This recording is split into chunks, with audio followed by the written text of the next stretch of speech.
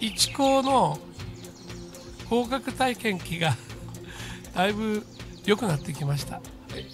え去年だっけ？ちょっと爆弾落としたんですよ道場。数数年ぶりに。爆弾落としたのはえー、っと明先生の時1回、えー、一発目ファットボーイを。はい。そうしましたけどこの前去年だっけ？あの例の学園祭騒動があってその時のあの先生方の対応の仕方それからあの生徒指導そういうことに関して、えー、爆弾をし。たでねところが内部的に徐々にあのいろいろなことで変わってきてる。ね、はい、で僕の一発目の爆弾はこのことだったんですけどもそれがですね今ですねあの一校の、えー、合格体験記の一部なんですよ。でこれを合格体験記見て見てくださいこれ。えー、日本史選択の文系としてやってよかったこと、はい、入試では使わない教科は内職課題丸写し。自分に合った勉強方法を見つける。課題は、えー、優先順位をつける。理系数学を取らない。これを合格体験記に載せるっていうのは素晴らしいなと思いますね。だって本当だもん。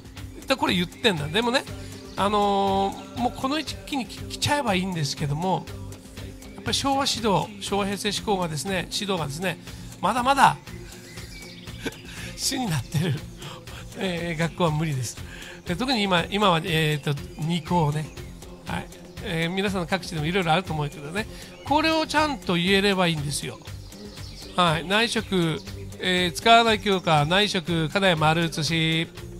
これを学校から出る、えー、ちゃんとしたあの合格体験記合格その後輩がに見せるやつ。はい。ね。はい。でいいことも書いたんだよ。社会の授業中は出ない。確かに社会を1回聞いて授業を受けてそこからインプットしておくっていう手がありますからね。はい。えー、っと総評2年生の、えー、高木主義は分離選択が早々に決まった人には地獄ですよね。上手にサボりましょう。ほら見てくださいこれ。上手にサボりましょう。この総評って誰書いてる先生か？自分か多分自分かな。上手にサボりましょう。課題はサイドリーダーはちゃんとやるべきですがえー、っと優先度が低いと思うものは自分の心と相談しましょうとかこれはもう完全にいや自分のやらないことややらなきゃならないことを優先していくということなんだよ。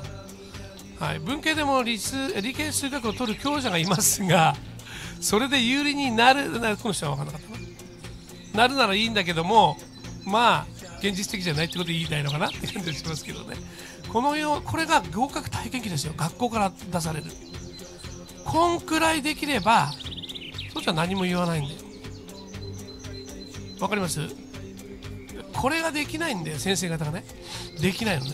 できないからあのやはりねこれね偏差値60以上のの学校はこれをやるべきです。あ総評も先輩ですね。はいわかりました。はい。えー、そんな感じで。これをですねきちんとあの本当の意味でねあの自分のものにするということで取っていくわけです。これは本当に素晴らしいなと思う合格体験記。あのー、ちょっと言わせてますけど二校の合格体験記、あのー、教えたのが実態。えー、っと言う言葉決められてます。おいおいテレビのあの、あの取材じゃないけどテレビのあの番組作りじゃないんだからさねあ言うこと決められてる言っちゃいけないこと決められてますフォーマットある程度あります。はい。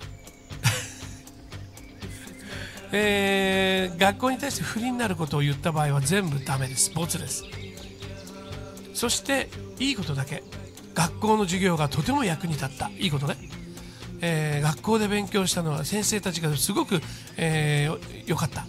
えー、教えてくれた。そして、えー、生徒指導の先生も一生懸命やってくれた。いや一生懸命やってくれますよ。一生懸命カチャカチャカチャカチャカチャカチャカチャカチャカチャカチャカチャ出てくるのは学校が偏差値順で出てくるだけ。そんな小学生でもできるでしょ？それ生徒指導のやることじゃないでしょ？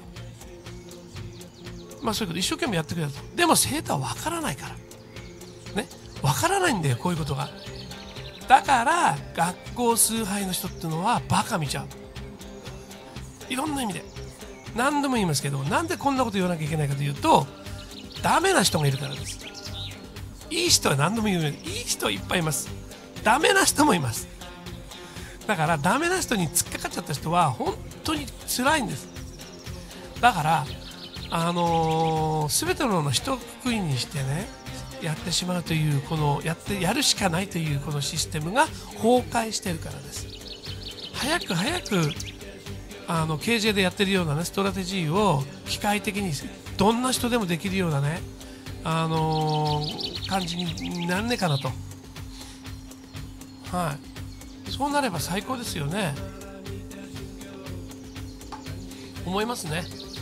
あのまあ本当にひどいったらありゃしないっていうあのー、ことが今あります。だからこういうような体験教あのは見ればねあの後輩もそうだよな。確かに自分にあの優先順位をつけて自分に意味のある課題をやっていこうって。これ全くそう KJ で言ってることなんだよね今ね、はい、なんでこれやってんの？こんなの何これ君にとってこれは何っていうようなことを本当に真面目にやってる子たち。かわいそうだよ、はい、今の、えー、日光、えー、土2の2年生はひどいね。本当ひどいね。これも言っときますけどね。はい。えー、とにかくそれをあの改善していかないと、えー、自分何だったのってなっちゃうからね、はい、もう誰が何と言おうとこれを言い続けようかと言うしかないと思います。だってそうなんだもん。実際救済してるんだもん。そういうふうな言われたことをそうじゃない。こっちで要するに信じるかどうかなんだよね。